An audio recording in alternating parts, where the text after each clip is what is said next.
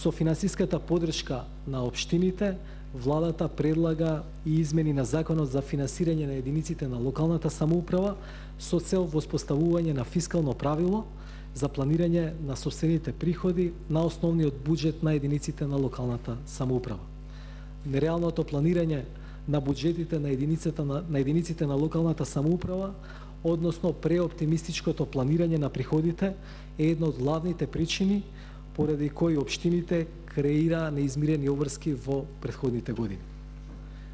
При тоа, поставените цели на фискалната политика за 2018 година и понатаму остануваат непроменети, односно во целост дизајнирани во функција на постигнување на клучните цели и приоритети на обштеството.